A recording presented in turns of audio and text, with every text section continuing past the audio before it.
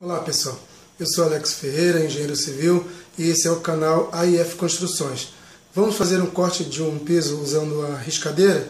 Vamos ver como é fácil. A primeira coisa que você precisa fazer é ter uma medida para cortar. Aqui está a cerâmica, eu peguei e botei aqui, ó. ela tem 14 centímetros e meio, ela é de 45.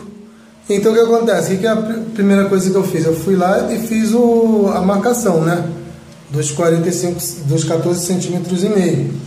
E agora eu vou pegar e vou botar na riscadeira. Aqui na riscadeira vai proceder dessa, da seguinte forma. A gente vai botar ela aqui, tá?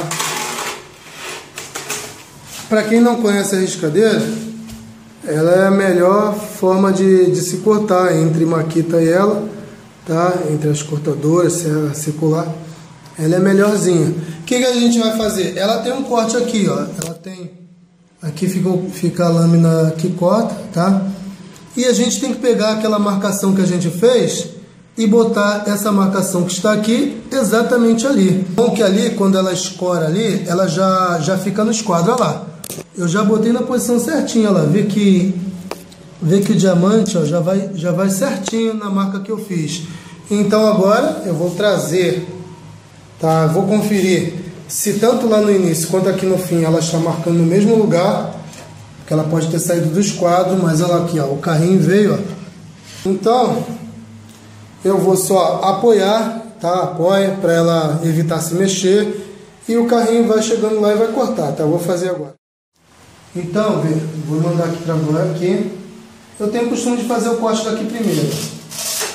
Agora eu vou lá. Não precisa fazer muita força. Só. Bom, é só isso que é. Isso aqui não é para fazer força, porque se fizer força, você vai quebrar a lâmina tá? e pode empenar. Então o que acontece? Depois que você fez esse corte, agora vem aqui, vê se o, o vídeo consegue chegar mais para perto. Aqui, ó, ele tem essa cabeça aqui, ó. Essa cabeça vai exatamente na linha que você fez. Olha lá, ó, mando lá pro final. Bota aqui, ó. Tá lá na linha, ó na direção dela. Agora eu trago com cuidado, só ajeitar, ó, só trazer ela, fazer uma pequena força para baixo, bem devagarzinho. Olha lá, cortou. Pronto.